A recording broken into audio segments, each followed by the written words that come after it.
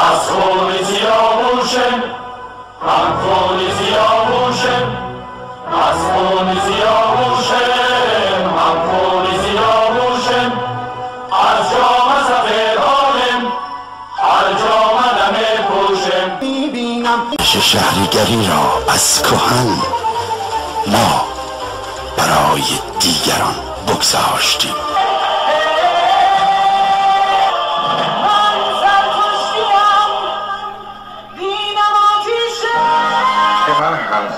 که روی پوشیده از شهر میگذرد. از غبار راه پوشیدم.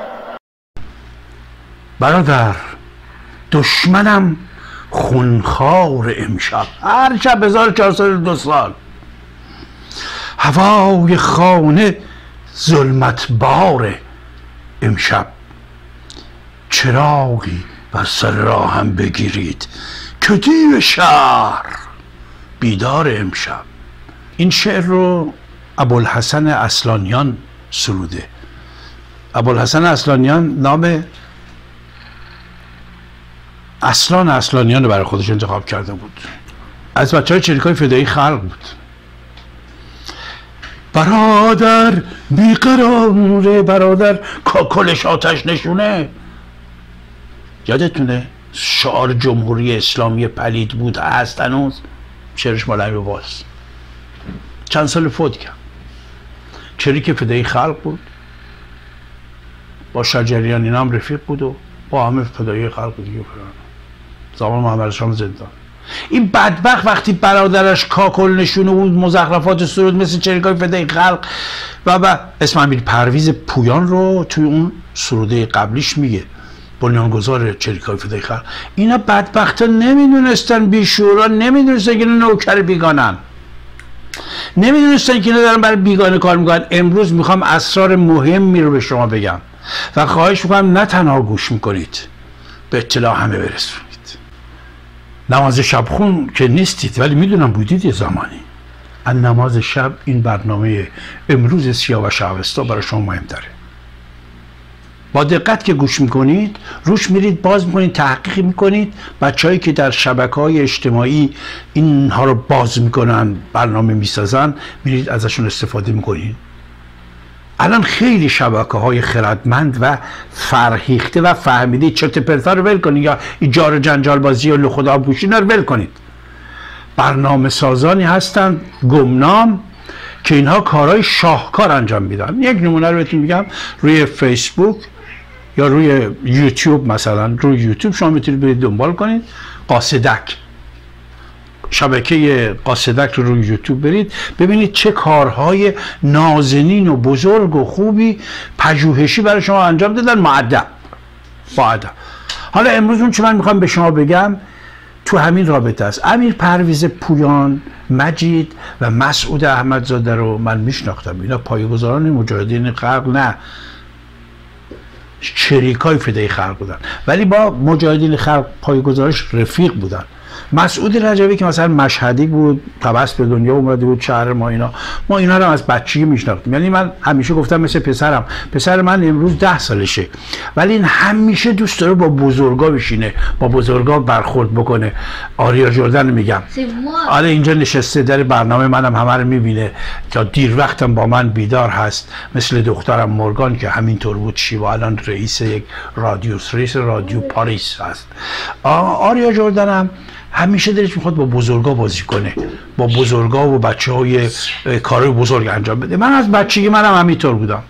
منم همینطور بودم و سیلتوپله نه نه بیسی پار پالیسی دو تا اون موقع امیر پرویز پویان بچه از من خیلی 7 ده سال بزرگتر بودن مجید محسن احمدزاده مسعود احمدزاده و دیگر اینها ما نمی‌دونستیم اصلا مجاهد خلق یعنی چی چریکی فدای خلق یعنی چی ببینید بچه خوبی ان خونه بابای علی شریعتی شارلاتانی هست علی شریعتی باباش استاد محمد تقی شریعتی خونه پدر ما رفت آمد که داشتیم ایشون رو بچه رو اونجا می‌دیدم ولی مثل همه آدمای دیگه عادی نه شاخ داشتن نه هیچی ولی اینها مجذوب و دیوانه دشمن و بیگانه شده بودن و اینها رو شکار میگن حالا دشمن و بیگانه امروز خب بهتون میگم چجوری عمل می‌کنه. اینش مهمه که ما نمی‌فهمیم. سازمان های جاسوسی کارهایی که انجام میدن مناطق که نمی‌فهمیم که. سازمان های جاسوسی کارشون مخفی انجام میدن. مثلا می‌خوان کاری بکنن توسط یک دوستی نزدیک یک کسی بغلت میکارن لباس گدایی میپوشه گدایی می‌کنه یا میاد رفیق تو میشه بهت کمک والی می‌کنه به تو ساندویچ میده چروک آب میده برات خانم میاره. اینا جاسوسی یعنی این یعنی تو نمی‌فهمی یارو کیه. بعد مثلا مخالف تو اگه هست کاسه از آشتاقتر برای تو هست. تبلیغ تو رو می‌کنه داد تو رو می‌زنه فریاد تو رو می‌زنه احترام به تو می‌زنه اینا برای چیه؟ برای که بتونه به هدفش برسه جاسوسی کارش اینه که همرنگ تو بشه. مثلا یکی از کار جاسوسا که انجام میدن تو ایران چیه؟ می‌دونن این علی خامنی سید ننه باباش و بابا بزرگش اینا فاطمه زهرا حسن حسین علی اینا که دوست دارن. خودش که جاسوس هست هیچ. خودش و خاندانش و روحانیت که اصلا انگلیس اینا رو ساخته با پول عرب تغذیه شده حوزه علمیه و روحانیت. اونا که جای خود.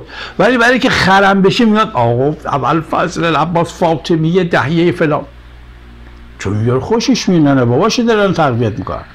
کار جاسوسی اینه. یعنی هر کسی که اینجا پیشونیش سوزون ریش گذاشت. تصویر دستش گرفت. از این زرازت بدون این جاسوسه. و جاسوس و فرصت طلب و ما الان که این موارد جنسی پدید اومده و هزار یک مورد تو چل پنجا چل سال اخیری که این حرومزاده حکومت دستشون هست که دیگه روشن شده. هر جنایت اینا میگن علی خان اینا میبخش. همه همشون جاسوس هم ازدم شما فکر نکنید که ایران یک نفر از اینا دلش بار ایران میسوزه. اونایی که دلشون بار ایران میسوزه اینا نابود کردن حذف کردن. وقتی که می‌خونه بیگانه در ایران هست و بیزارم از دین شما. این دین و این آین و این بیگانگان 1400 سال اومدن اینجا ما رو پدر مونده بودن بعد ملت بی غیرت مردم بی شرف دخترای شما تجاوز دزدی. هزار و یک کار دارن می‌کنن توی مملکت که ننگ بشریت شما اونجا نگاه می‌کنید. رد میشید. تریاکتون می‌زنید. تفریحتون میرید. شمالتون میرید. مشروبتون رو می‌خورید مهمونیاتون می‌دید. به فکر میهنتون نیستید. کشتن از چون باید گذشت. چون ایران نباشد تن من مبادی که فردوسی علکی نگفته. هزاران سال اگه ایران مونده به سلحشوری است که الان زنای ما رو هر روز می‌بینید با چه سلحشوری و شجاعتی در برابر اینها وای میستن. چون یکیتون که وای نمیسته هیچ. دفاع نمی‌کنین از اونا. حالا من می‌خوام به شما ها یک عرض مهمی امروز بکنم. یه سند مهمی ارائه بکنم. اون اینی که بارها من گفتم تحلیل کردم سند گذاشتم براتون که در ایران ما بیگانه حاکمه. بیگانه فکر نکنید یک کشور یا دو کشور. ده.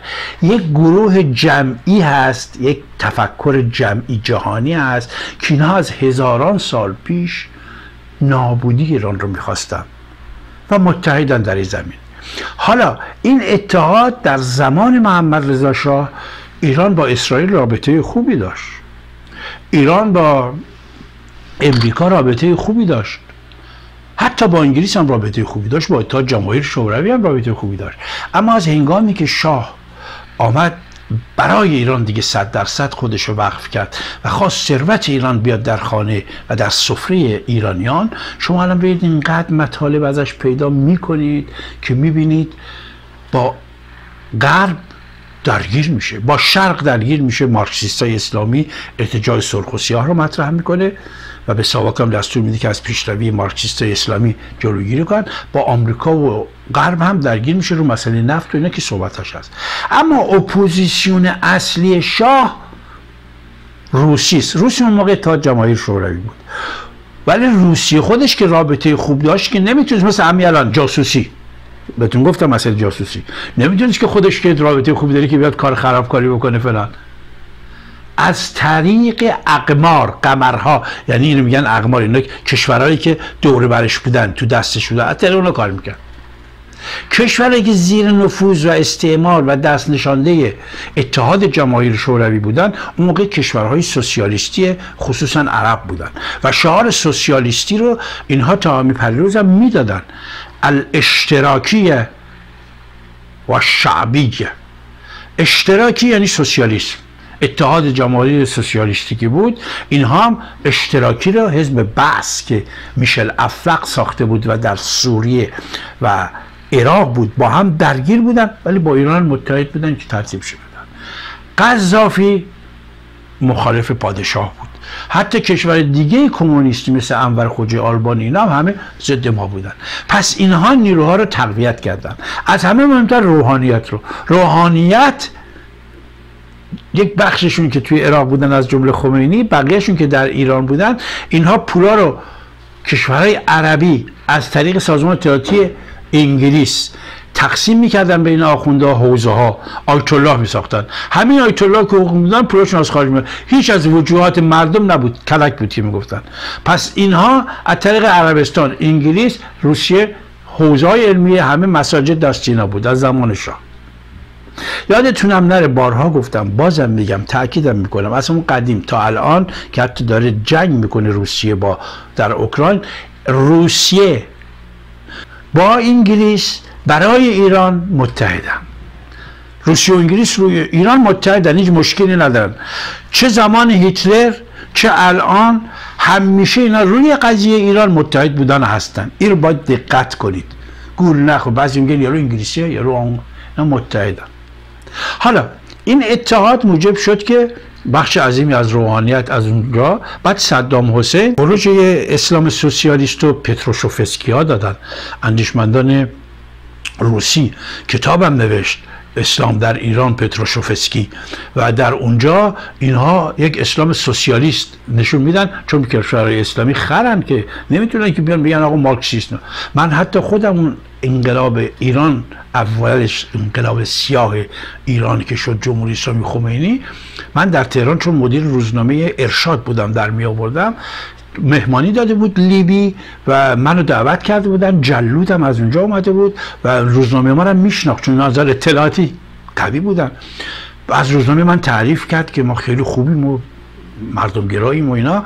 بعد قبلی که بخواد ترجمه کنه اون موقع من عربی خوب صحبت نمی‌کردم. ولی خب میفهمیدم یه چیزی به مترجمه گفت گفت ببین این سوسیالیسم رو برای ترجمه نکن. به جای سوسیالیسم یه واژه دیگه به کار ببر. نگه سوسیالیسم اشتراکی چون اینا حساسم من فهمیدم. گفتم جلوت من فهمیدم تو چی گفتی. نه من با سوسیالیست و اینا مشکل ندارم. خندید. یعنی کشورهای عربی چپ سوسیالیست بودن روشون بود اشتراکیه به عربی میشه. پس صدام حسین وقتی میاد یک سری از نیروهای مسلح چریک و مجاهد خلق و اینا رو تقویت می‌کنه زمان محمد رضا اینا هواپیما دزدیدن بردن اونجا و و و, و غیره. و یا نیروهای حتی فلسطینی از کانال فلسطینی هم می‌رفتن اونجا آموزش نظامی می‌دیدن و فلا اینا. همه زیر پوشش اتحاد جماهیر شوروی بود روسیه. ولی عراق جایگاه مهمی بود حتی قویتر از سوریه. حتی قویتر چون در سوریه حافظ اسد علوی بود. حتی اومد با شاه هم ملاقات کرد. امام موسی صدر اومد با شاه ملاقات کرد. رهبر چریکای لبنان بود که از شاه هم پول گرفت. ولی صدام حسین میشل افلق و اینها اسمش حسین بود. ولی اینها خونی با نظام پادشاهی درگیر بودن. به همین دلیل سقوط نظام پادشاهی رو اینا برنامه ریزی کرده بودن. دیگه اینقدر برنامه رفتیم گفتیم شما خودتون خبر دارین. اصلا چون در آوردیم که وقتی که پنج سال قبل از انقلاب سیاه پادشاه میگه که دیگه نفت مفتکی به این غربیان نمیدیم و فلان اینا. پل اردمن که رفیق جورج سوروس هست بود است اینا میاد تو زندان سوئیس بانکدار بزرگ پروژه سرنگونی ایران رو می اسمش هم می‌ذاره کراش 79 سقوط 57 این کتاب رو اینقدر معرفی کردیم به شما هنوز هم پروژه داره کار خب اینا برای که می‌خوان شاه رو سرنگون کنن از پنج سال قبلم برنامهش ریخته شده حالا هفت سال ده سال قبل بعد اینجا خودشون در غرب مشکل نفت دارن بعضیشون خراب شده برین مصاحبه های پادشاه رو گوش کنید تا آگاه بشید خب اینا برنامه ریزی می‌کنن. business plan می‌نویسن برنامه ریزی می‌کنن. برنامه ریزیشون اینه که توی ایران نفوذ کنن. برای نفوذ در ایران حزب بعث در عراق چندین ساله که هست همه این نسلی که اونجا هست بعثیت شیعه و اسلام بازی اینا اصلا نبود در حکومت های اتحاد جماهیر شوروی. چه اونایی که تو خودش بودن چه اونایی که بیرون بودن مثل لیبی و قذافی و عراق. اصلا اسلامی خبر نبود. همه حزب بعث و هر کسی که متولد می‌شد عضو حزب بعث بود. همه همه اسم شیعه حسن حسین علی محمد هم داشتن. ولی همشون بعثی بودن. حزب الاشتراکی امتون واحدتون. می‌گفت بس کسی که هستیم ما امت واحد عربی عرب عربیست پان عربیست اینا از اونجا این پروژه رو داشتن که ایران رو ساقط کنن. چیکار کردن؟ اومدن گفتن بهترین جاسوسایی که می‌تونیم وارد ایران بکنیم از عراق هست. معاودین عراق رو اینا چند صد هزار نفر رو سامان کامیون کردن زمان شاه وارد ایران کردن. توی اینا خیلی هاشون آدم های بیگناه اینا بودن ولی شما در نظر بگید تو هر صد نفر یکیشون جاسوس. کافی. صد نفر یکی جاسوس. اینا رو وارد ایران کردن در ارگان های مختلف جا گرفتن زمین خریدن خونه خریدن قدرت خریدن. بعد از جوار علی شریعتی رو از خارج فرستادن برو اونجا سخنرانی کن شروع کن کافی مهدیه بهش دادن. و و اینا قبلا گفتم الان وقت ندارم دیگه نمی‌تونم بگم. عراقی های معاودین شدن جاسوس صدام حسین. جاسوس که نمیاد بگه ما جاسوسیم که کاراش میکن کاراشون کردن زمین سازی کردن حتی بارها بهتون گفتم مفته شهر و جای دیگه تیراندازی می‌شد و فلان درگیری ها و این همین چریک مریک بازی ها. همه عراقی ها و ها در ایران می‌کردن. و همه این مارکسیست اسلامی هم معبدشون که آمریکا نبود که مسکو هم که میترسیدن برن. بعد انقلاب هم که فقط محمد سعادتی مال مجاهدین خر بود. با اینک و فلان آرتیستی گرفتنش بعدم اعدامش کردن که حتی تا جماعی شورای حزب توده همه رو قربانی کرد. چرا؟ چون رهبران بالای آخونداری که داشت مثل علی خامنه‌ای و خیلی دیگه که اسمش نمیگم اینها رو داشت دیگه. وقتی اینا داشت چوق شلغم پایینی نمی‌خواست که نابود کرد. خب توی نابودی بازوی توانایی اینا که ایرانی نمی‌تونست باشه. ایرانی که نمی‌تونست برای بیگانه کار کنه. ایرانی که نمی‌تونه ایرانی رو بکشه. مثل همین الان. ایرانی که ایرانی نمی‌کشه که. اینا همه غیر ایرانیان هستن که اعدام می‌کنن شکنجه می‌کنن کتک می‌زنن. شما بی غیرت ها دادید میاد فیلم می‌گیرن. همه غیر ایرانیان. خود علی خامنه‌ای غیر ایرانیه. جدا که باباش تو عراق به دنیا اومده هم هر که امام و شیخ و آخوند ملای مثلا مسلمان غیر ایرانیه. اصلا مسلمان غیر ایرانیه. بره تحقیق کن مطالعه کن دیگه از اون چیزا بیان بیرون. حالا امروز من فقط یک نمونه از جاسوسایی که بعثی بودن بعد انقلاب وارد ایران شدن براتون میگم که شما بدونید الان که چون ایران کادو می‌کنم هدیه می‌کنم به تمام عمرای ارتش سپاه مامورای وزارت اطلاعات تمام کادر انتظامی ایران که ایرانی هستن که ایرانی میاندیشن. سر مهم میره امروز بهتون میگم ما هرگز از اولم بوده ایرانی ها رو خواهان نابودیشون نبودیم. اونایی که نفوذ کردن تو ایرانی ها این بعثیان. بعد وقتی میگیم تازیان و عرب کلی نمیگیم.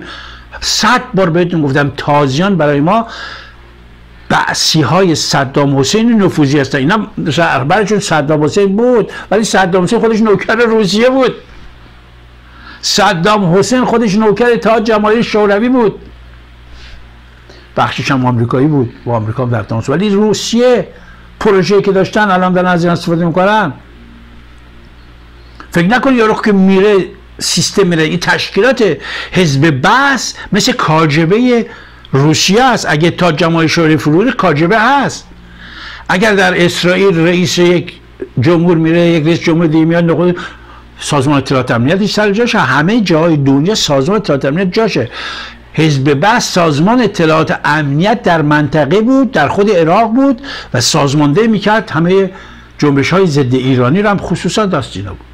حالا من یک نمونه امروز می‌خوام بهتون بدم که اینو با که قبلا گفتم بحث زیادی امروز کردم. ولی الان چون مناسبت داری با این و خصوصا اخیرا دیگه بعد از صحبت های من من هفته پیش که با آقای شرفشاهی گفتگویی داشتم این گفتگو امروز براتون بخشیشو رو پخش می‌کنم که گفتم که اینها دو تا هستن ایرانی ها و ان ایران و بعثی ها در ایران هستن اینا. سه نفر آمدن در تایید حرفای من حرف زدن. سه نفر. از سه تا قوه نظام دو تا قوه نظام جمهوری اسلامی. و واقعا هم گفتن. من گفتم از موقعی که شاهرودی شد رئیس قوه قضایی از قبلش قوه قضایی ما دست عراقی بود. سقوط اقتدار آریایی در ایران رو مطرح می‌کنیم تا بفهمیم و جهان بداند که هر چی به ما روز تا شب دارن میگن چرت و پرته. همه دنبال نخود سیاه ما رو دارن میفرستن چهل و چهار ساله. خود ما نیز گاهی از اوقات وارد نخود سیاه میشیم. این برنامه امشب و این عرایز امشب و این سند ویدیویی که بنده می‌خوام ارائه کنم با اینکه دفعه اولم نیست ارائه کردم این رو. بله. ولی بسیار مهم بفهمید مردم بفهمید برنامه سازان رادیو تلویزیون نویسندگان روزنامه نگاران قلم به دستان بفهمید. اینو بیایید بگید اگه مردید ریشه جریان ها رو بگید. استاد چرفشایی هفته پیش آنجا تمام کردیم که شما فرمودید هشت شعبی وارد ایران شد. من همونجا یه عرض کوتاه وقت نبود کردم. ولی من می‌خوام به شما بگم استاد چرفشایی این هشت شعبی و بزرگتر از اون از پیش از اینکه نظام پادشاهی در ایران سرنگون بشه بعثی ها و با برنامه ریزی صدام حسین وارد ایران شدن. و الان بخش اعظم ایران دست بعث حزب بعث عراق صدام حسین. یادتون نره یادمون نره. این کی میاد میگه؟ چرا نمیان بگید تمام گروه ها و جریان های شریکی و احزابی که ساخته شد و آدمایی مثل علی شریعتی که اومدن جامعه رو سمزده کردن همه اینها نوکر بیگانه بودن.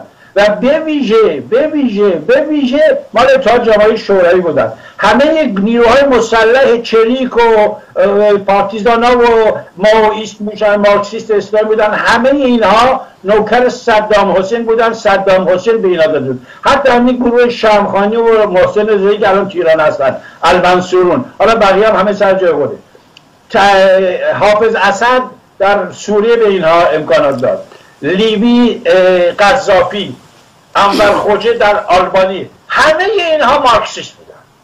یعنی هر جنبش و حرکتی بود که الان میان اینا رو بوت می‌کنن سر دست می‌برن آوت م- تشکیلات فلان رو ساختن تشکیلات رو اینا همه نوکر بیگانه بودن برای نابودی ایران اومدن.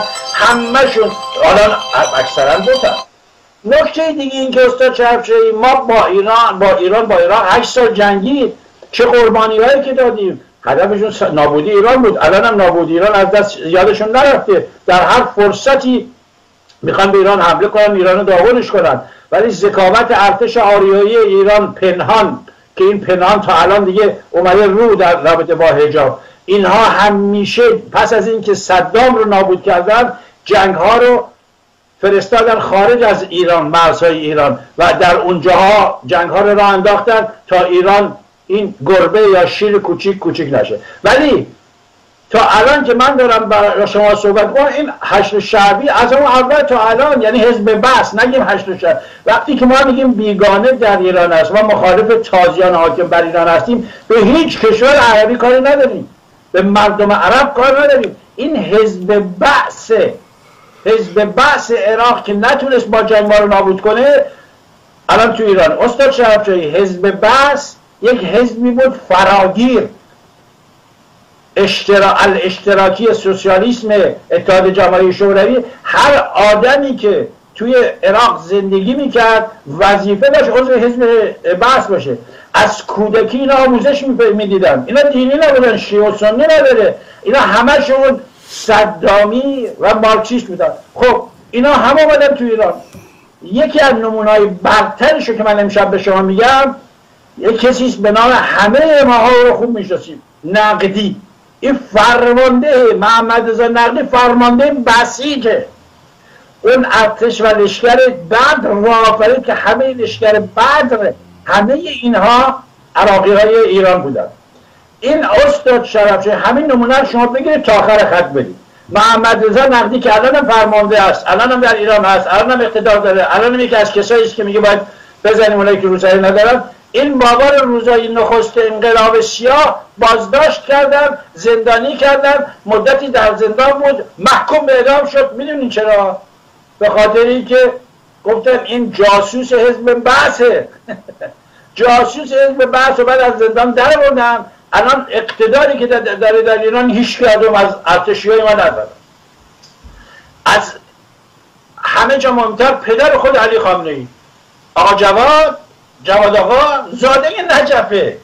هاشمی شاهرودی سالها قوه قضایی مملکت دستش بود پستای حساسی بعدش داشت تا بیش از اینکه بمیره.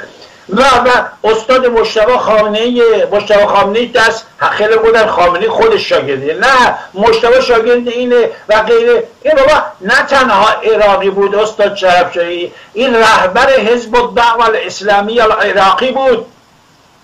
یعنی بخشی از جامعه بعثی عراق رهبری تو ایران معمن داشتن. الان سفیرا اینا اکثرشون عراقی هن. آقای حسن دانوی سفیر. عراقیه. استاد شهرفشاهی علایالدین همه تون می‌شناسین همه گفتین رئیس کمیته و یا کمیسیون امنیت ملی مجلس ایران بود. سالها در وزارت خارجه نقش مهم داشت. اکثر اینا تو وزارت خارجه بودن تو ارتش بودن. علایالدین بروجردی عراقیه. از همه مهمتر استاد شرف شرف این محمد کاظم علی اسحاق رو تاجیکی فرستادن سفیر اینا همه عراقی هم عراقی ها در ایران در حاکمیت هستند و بودن و این هشت شعبی بعد آخرش. نکته مهم دیگه است شرف در سپاه و بسیج و جنگ. حتی خود اینا اخیرا افشا کردن. و در کنار قاسم سلیمانی از فرماندهان ارتش بعثی بودن افرادی که سالها با ایران جنگیدی بودن. اینا آمده بودن تو ایران و تو سپاه جا داشتن. یکی از اینا غیر از اون المهدی غیر از المهدی. یکی دیگه با همون جریان المهدی و قاسم شده کشته شد حتی. یعنی ایران مستعمر است. در چه بدبخته ای حالا اینا رو شما بذارید کنار استاد شرف شایی اینا دیگه الان همه اینا در رابطه با آمریکا و فلان فوش خانواده میدن با آمریکا و از اون با روسا و چینا اینا سا. امشب من به شما ثابت می‌کنم یک بار دیگر که رژیم جمهوری اسلامی از قبل از انقلاب تا الان که اینا خودشون آماده کرد اصلا با دنیاست و خصوصا با آمریکا یکی از ارگانهای بزرگ قدرت در جهان تشکیلات گورک سایروس هست. جورج سوروس جورج سوروس 140 تا کشور حکومت می‌کنه. الان پسر خودش جای خودش گذاشته الکساندر سوروس هفته پیش آقای شرفشاهی هفته پیش تو آلبانی همه اینا رفتن جلو جوان سی و خورده ساله جورج سوروس تا کمر خم شدن از بیل کلینتون گرفته تا رئیس جمهور خود همون نخست وزیر خود آلبانی و کشورهای دیگه کشور دیگه این شسم نشنید و نفهمید و خبرش شود حالا جورج سوروس امشب ثابت می‌کنم براتون که به گفته خود نظام جمهوری اسلامی همچنان که گفتم وزارت خارجه همیشه دست آمریکایی بوده و عراقی و اینا خودش یارو بابا میگه آقا از سالها پیش که حتی قبلی که خاتمی رئیس جمهور بشه جورج سوروس تو ایران بوده تو ایران کار می‌کرده و رئیس بخش خاورمیانه آقای شرفچویی این خیلی مهمه. رئیس بخش خاورمیانه جورج سوروس یک نفری بوده که زمان محمد شاه با بورس شاه میره آمریکا دانشجو وقتی محمد شاه در لحظات پایان دوران زندگیش از که خارجش می‌کنن اینا این پدر سوخته بلنگو دستش می‌گیره جلو بیمارستان خواهان کشته شدن و اعدام محمد رضا شاه میشه. محمد جواد ظریف وزیر خارجه اینا بوده. الان هم داره میچره هنوز. هر داره صحبت می‌کنه. ما هم این جواد خودش میگه الان خودش رو میشنوید. خودش میگه که ایشون گزارش های خاور میانه تشکیلات جورج سوروس رو در نیویورک وقتی سفیر بوده در سازمان ملل می‌رفتن میمیدادن. و بعد بعد میاد تو ایران باز تمام زیر نظریده خودی داره میگه شما می‌بینید خواهید دید افرادی مثل خاتمی. اگه من خیلی چیزی مهمتر دارم خبر دارم از قدیم. ما اون سالها با میبودی که مصاحبه می‌کردیم سال 95 96 یک مسرار مواد گفتیم که موجود هم هست. ولی کوکوش شنوا من همون موقع اینا رو گفتم. حالا استاد شرف شد این آقای ظریف که خودش ادعا می‌کنه که گزارش های خاورمیانه تشکیلات سلوت رو ایشون امضا می‌کرده و بعد آقای کیان که خودش رو رئیس بخش این تشکیلات در ایران می‌دونسته و خود رژیم هم می‌دونسته. این هم خودش این اعترافات می‌کنه. من از شما خواهش می‌کنم با دقت مردم مهربان یاران با دقت این ویدیویی که پخش میشه بشینید گوش کنید. چایی نخورید. از اتاقتون بیرون نرید. نوت بردارید. خوب گوش کنید تا بفهمید کجای کاریم و شما کجایید. بله. می‌بینیم ویدیو رو کارگردان عزیزم. و این گزارش هم کردن ببینید اسناد مهمتری هست که ارتباط بنده با بنیاد جامعه باز و با بنیاد سروس در زمان سفارت بنده. بنیاد جامعه باز وقتی که من به نیویورک رفتم با ایران ارتباط داشت. به ایران سفر می‌کرد. با در با قسمت های مختلف با شهرداری ها ارتباط داشت. اونچه که من انجام دادم این بود که این ارتباطات رو در منظم کردم و هر دفعه اینها موظف بودن بیاد به من گزارش بدن که چه کار می‌کنن که اجازه هم خارج از منافع ملی کاری در این زمینه صورت بگیره. بعدها که آقای پیان تاجبخش که نماینده بنیاد جامعه باز در ایران بود در ایران دستگیر شد این رو به عنوان اعتراف مطرح می‌رفتم و به ظریف گزارش می‌دادم و حتی پیشنویس نامه هاش رو مینوشتم. این یک واقعیته که بنده به جای اینکه این اعترافات آقای جواد ظریف خیلی مهمه. خیلی قابل تفکر هست. تفکر بر این مسئله بسیار مهمه. نباید آسان از کنارش بگذاریم ایشون خودش به عنوان وزیر خارجه الان و پیش از این به عنوان سفیر ایران در سازمان ملل در نیویورک اعتراف می‌کنه که نماینده نه نماینده استعمار جدید جهان اقتصاد در ایران که بوده آقای کیان تاجبخش. ایشون که رئیس این استعمار نوین جهانی در ایران بوده گزارش هاشو به ایشون می‌داده. یعنی چی؟ یعنی ایشون درجهش خیلی بالاتر از این حرفا بوده. حتی پیش از این که ایشون فیر ایران در سازمان ملل پیداست که با این تشکیلات کار می‌کرده. آقای آنتونی رده که نماینده جورج سوروس هست در خاور میانه از قدیمشون استخدام کرده. بنده یحیی کیان تاجبخش هستم. متولد تهران 1340 فرزند سیروس کیان تاجبخش از هفت سالگی به انگلستان رفت و تا فوق لیسانس را در همان کشور خواند. سال 1363 به آمریکا مهاجرت کرد و دکترای جامعه شناسی شهری گرفت. سال 1376 سال تحولات کلیدی در ایران تاجبخش به دیدار فردی رفت در بنیاد جامعه باز متعلق به جورج سوروس این فرد آنتونی ریکتر مدیر بخش خاورمیانه این بنیاد بود. او طرح پژوهشی را ارائه کرد که موضوعش پتانسیل های شوراهای اسلامی شهر و روستا در ایران بود. ریکتر از او خواست برای عملی کردن این طرح به ایران برود. تاجبخش به ایران آمد. در وزارت کشور با مصطفی تاجزاده معاون سیاسی وزارت کشور آشنا شد. و همچنین با یکی از اطلاعاتی های کهنکار کشور سعید حجاریان موضوع گفتگو با این دو نفر نحوه تحقق جامعه مدنی در ایران با همکاری چهره های مختلف سیاسی و دانشگاهی این موضوع سرمایه اجتماعی به تصویب قانون قانون مملکت در مجلس ششم رسید. به تصویب قانون قانون مملکت در مجلس ششم رسید.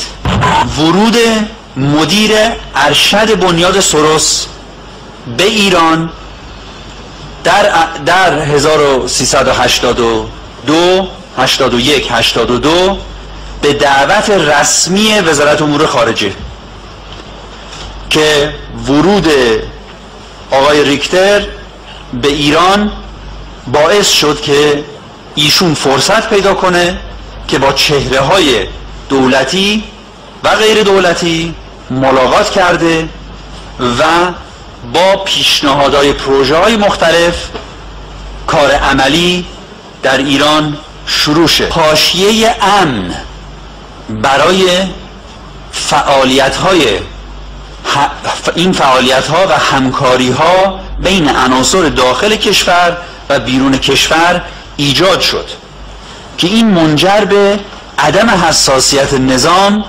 نسبت به اهداف دراز مدت این برنامه ها شد.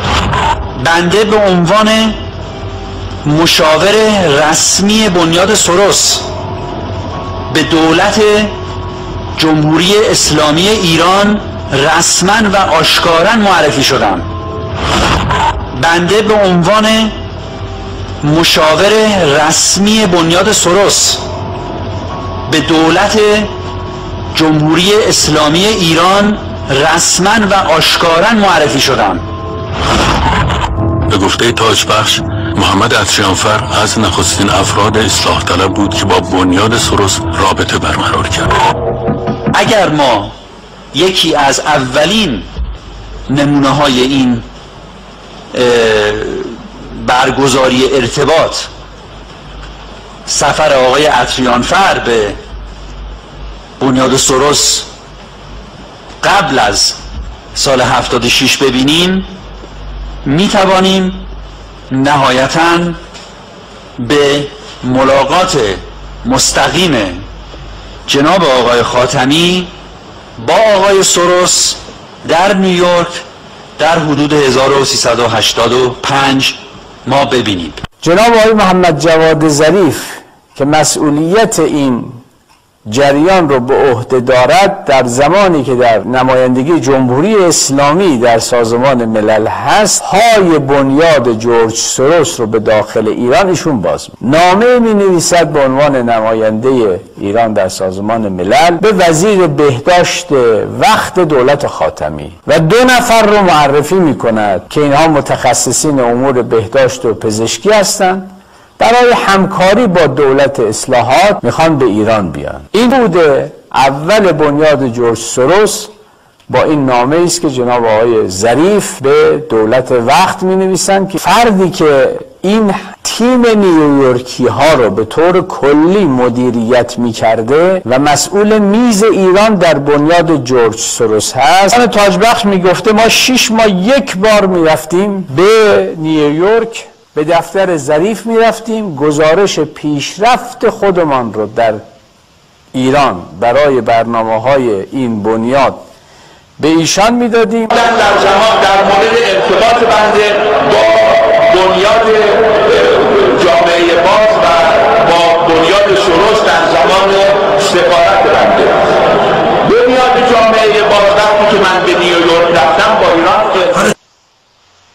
استاد شرفشاهی مسلمان ها معمولا 17 رکعت در روز نماز می‌خونن و غیره. من می‌خوام بگم ایرانی اگر ایرانی است اگر تازی نیست اگر بعثی نیست یادتون روشن کرده میشه وقتی میگیم تازی منظورم بعثی هایی هستن که در ایران دارن حکومت می‌کنن.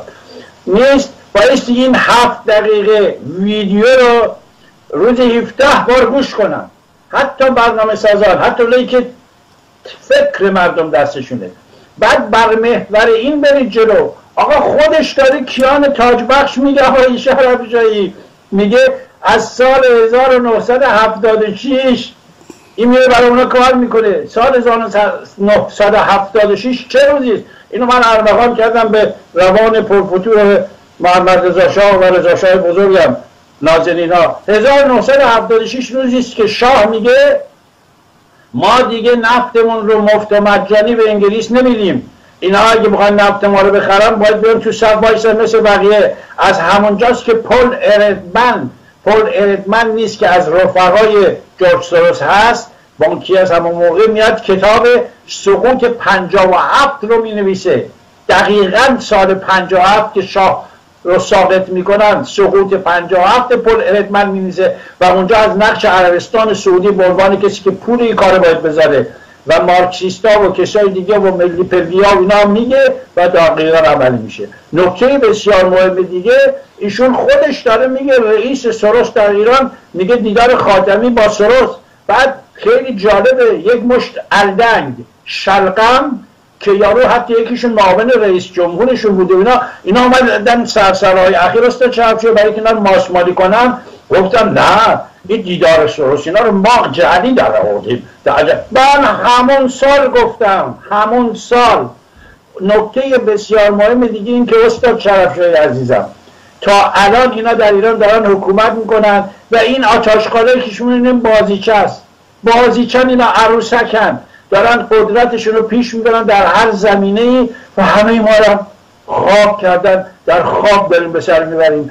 و الان شما دیدید است چه یه دختر ایرانی رو به خاطر چهار راخموش یک بعثی پدر سوخته که دوربین دستشه یا نمی‌دونم چه دستشه این جا... یا این لچک به سر همین رو بعثی.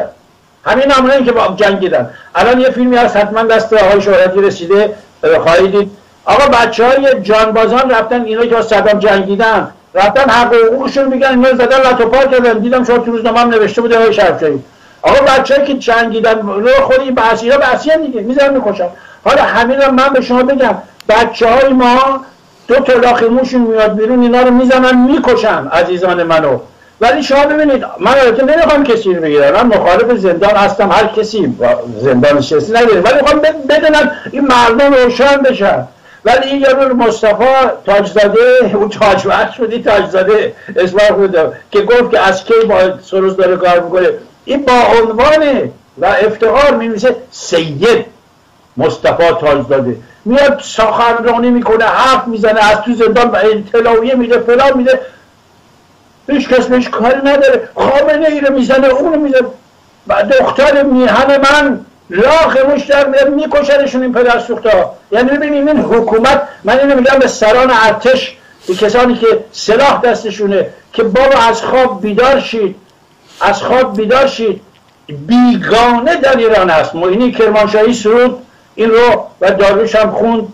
بیگانه در ایران هست بیگانه در ایران هست پاشید عزیزان من. اونایی که قدرت دارن پاشن از بچه ها دفاع کنم بله. این رابطه جمهوری اسلامی و عربستان می‌دونید تقریبا یه مقداری عادی شده یه مقداری با هم دیگه در حال مطالبی رو رد و بدل کردن اینا ولی این شکننده است. ممکنه در اثر یک حادثه یه چیزی این دوباره اوضاع یه جوری دیگه بشه. یه فردی از به نام علی اکبر رائفی پور اسمش شما نمی‌دونم شنیدین یا نه. این یه آدمی بود که سالها مثل سدلی خامنه ای به عربستان سعودی دشنام می‌داد. به پادشاه و ولیعتشون دشنام می‌داد. و این بعد از مدتی که اعلام شد که اینا رابطهشون حسنه شده این رائفی بود رفته عربستان. حالا این عربستان یقه گرفته اجازه نمیده برگرده ایران. میگه تو آدمی بودی به ما بدترین دشنام ها رو اینا رو دادی. این حالا رفته تو سفارت جمهوری اسلامی در عربستان زندگی می‌کنه و استاد شرفشایی هدیه دیگه که به شما میدم سر این فرزند یاسر عرفات رو به شما میگم امشب. اولا که برگشت ایرون ولش کردن. داستانی اصلا دستگیر نشده بود. همینا دروغ چرک بود. این توی کنسولگری سفارت جمهوری اسلامی رفته بود قائم شده بود. حالا من اسرار پشت پرده به شما میگم. اسرار پشت پرده اینه که به هیچ عنوان عربستان سعودی این بازداشت نکرده. ولی خود نظام جمهوری اسلامی چون دیگه دو هفته پیش اینجا بحث کردیم صحبت کردیم رو گفتم بهتون. که با عربستان ساخته و ساختن با عربستان سعودی براش خیلی حیاتی است. یعنی اینا برای گسترش اسلامشون در جهان سه کشور عربستان ایران ترکیه متحد شدن الان. یک اختلافاتی دارن همیشه با هم مثل بنی هاشم و بنی امیه. حتی بین خود بنی هاشم توشون اختلاف بوده مثل الان مصطفی تاجزاده چون با سروس کار می‌کنه با سدری خامنه مشکل داره. اینا پسر و پسر همه مثل موسوی خود موسوی خامنه بود با خامنه اختلافات داشت. اینا اینا اختلافات داخلیه. حالا این سه کشور مقتدرم که با هم متحد شده اختلافات دارن اونجای خود راه فیپور رژیم الان می‌خواد چون یک دست کنه و بعد می‌خواد ترتیب یک سری کسایی که جفتک علکی می‌زنن به خاطر که می‌خوان فردا خودشون نامزد ریاست جمهوری کنن یا اینکه مشتری بیشتر خر کنن و یا چون باند بعثی های عراقی هستن می‌خوان تشنج زدایی بکنن در ایران این خود ماموران اطلاعاتی جمهوری اسلامی میرن به راه پور میگن آقا این اینا می‌خوان بیان طور بگیرن. تو فرار کن برو توی کنسولگری قایم باشو. این فرار می‌کنه به خودش تو کنسولگری قایم میشه. بعدم که می‌بینن هیچ خبر نیست تو هواما میزننش میاد تهران الان هم ایرانه. یعنی نه همه چرت و پرت آقای شرفشاهی. سر مردم بند کردن که بترسونن. بعد ترسید از تو خود کنسولگری که بود دو سه تا پیام داد. پیامش هم من هست من نداره که ما اینجا بخوایم این مرد رو پخشش کنیم. سه چهار تا پیام از اونجا داد. وقت وقتی تو هواپیما نشسته بود معلوم بود که چقدر ترتیبش دادن که با چه ترس و دلهوری یکی این همه آرتوپوت می‌کرد علیه عربستان اصلا خاموش شده بود و داشت می‌رفته رو رفته این حالا شهر که این جنرشیم الان می‌خواد یک دست میشه می‌خواد یک چیزی سر بزنه. حالا من تو پرانتز بگم. ببینید یک ویدیوی اخیرا از علی خامنه ای که مرده نیست به نظر من. اینا حالا من بعضی وقتا من میگم خامنه گفت خامنه رفت خامنه خامنه ای مرده. برای همینه که شاید تا دلتون می‌خواد تو ایران خود اینا بهش فوش میدن خواهر مادرش اول آخرش اینا. اون مرده وجود نداره. روسیه است که ایران میگردینه با همینه که گفتم. اما یه اگر هم بود باز پخی نبود. یعنی جنایتکار بوده و هست و خواهد بود بود و نبود شکیست این میگم برای اون آقایی که فکر رهبرشون زنده استاد چرفه یک ویدیویی از خامنه‌ای منتشر شده مال موقع ریاست جمهوریشه. اونجا قاطع میگه که امام خمینی گجستک پرفند جنایتکار. میگن امام خمینی هم مخالف بود که شما بیهجابه رو بزنید. گریه می‌کرد می‌گفت چرا بزنم بیهجاب چیز می‌کنید من با این نظر مخالفم. خود خامنه میگه فلان فلان. خب آقا بچه ها الان این گذاشتن تو تیمشون استاد چرپشایی تا یک چیزی رو می‌بینن گشت ارشاد بحثی رو. میریزن رو سرش. کتکش فیلماش هست. الان دیگه اینجا نمیشه پخش که من تو برنامه خودم پنجشنبه پخش می‌کنم. میریزن تو سر اینا اینا رو لط و پار می‌کنن میبرنشون پلیس. صحبت خامنه‌ای می‌ذارم. میگه آقا این رهبرت نیست. رهبرت گفته که من می‌تونم روسری نداشته باشم. هر که مزاحم شد بزنمش. برای اینکه الان گشت ارشاد اگه آوردن تو خیابون بچه شما از خود رژیم باید بلد باشین به خود رژیم بزنید. بایستی بلد باشین این دیپلماسی نبرد رو. اینا رو بزنید لک و پار کنید بعد صحبت خامنه‌ای رو بزنید بگید آقا خود خامنه‌ای میگه که حتی خود خمینی هم مخالف بود که شما بیاد مزاحم بچهای ما بشین. و اینا رو بزنن. الان هم دارن این کارو می‌کنن. الان این فیلم تو جیب بچه هاست هر پدر سوخته ای که میاد دست یک دختری رفته تو پس کوچه. می‌گیره می‌خواد سوار ماشین کنه دختر شیر شیر دختره ایرانی داد فریاد یوها جمعیت میریزه. چندین مورد هست فیلماش حتما آقای شهرتی دیده داره خود شما دارید که اصلا این ماشین های این پدر های گشته ارشاد اینا چپه می‌کنن مردم. جفت لغت می‌زنن کتک می‌زنن یارو داره فیلم می‌گیره یه خانم شجاعی میاد میگه پدر سوخته چرا فیلم بچه های من می‌گیری؟ دارن ورزش می‌کنن و بعد همون یارو رو لطوپارش می‌کنن روانه تیمارستان تا چرفجه یعنی مردم سرحشوریان در میدان هم دارن با این بحثی ها میجنگن و باید روز بریز هم همه همدیگه رو یاری برسونن تا فاتح اینا خونده بشه. این آقای فیپور هم یه چرت بود. خودشون هم آبروشون هم رفت رو قضیه استاد چرفجه این محسنی اجهی هم روانیست جنگیر استخدام کرده بود. حالا آمده میگه هنرپیشه های ما دیوانن. اگه کسی رو سری برش داشته ببرین مالش اینا رو باید لطه پار کنین نظر نفس بکشن این پوفیزات توی مملکت. الان محسن اجیران سند چه پرندش بعد میگم علا رقمی که دیوان است.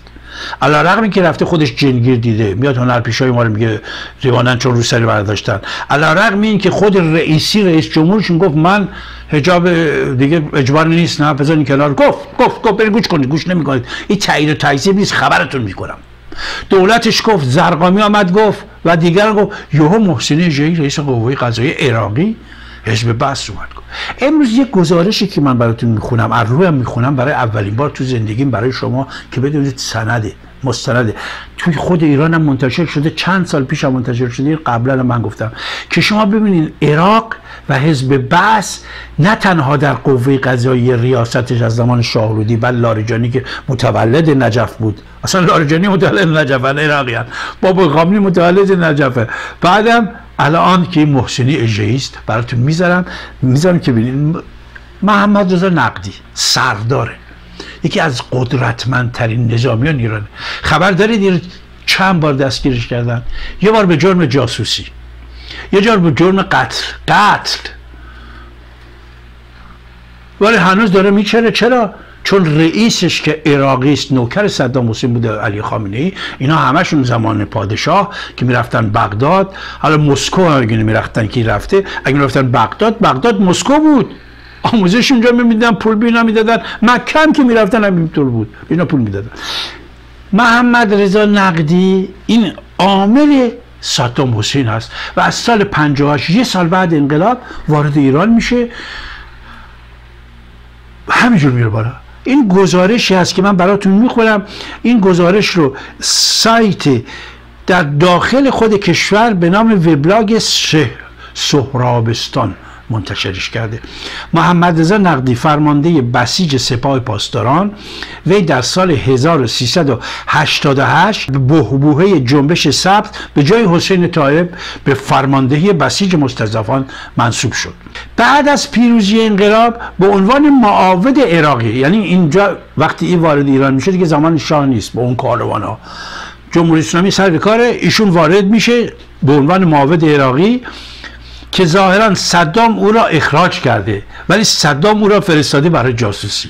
به ایران می آید و در شهر نقده سکنا میگزیند. فامیل اصلی اون نقدی نیست. اون نقدی رو به عنوان فامیل انتخاب می‌کنه. فامیلش از سمانی. اسم فامیلش همین نقدی سمانی عربی. هشتی هشت. در اسفند ماه 59 نقدی برای آموزش نظامی و گذراندن دوره های چریکی به کشور لبنان عظیمت نمود. 59 دو سال بعد انقلاب. و در پادگان های جنبش عمل آموزش دید و مجددا به ایران بازگشت و در رده های رفته اونجا دستورات جدید رو بگیره از عراقی ها و به عنوانی که از جاسوسان مسلم استخبارات یعنی سازمان جاسوسی عراق برمیگرده ایران.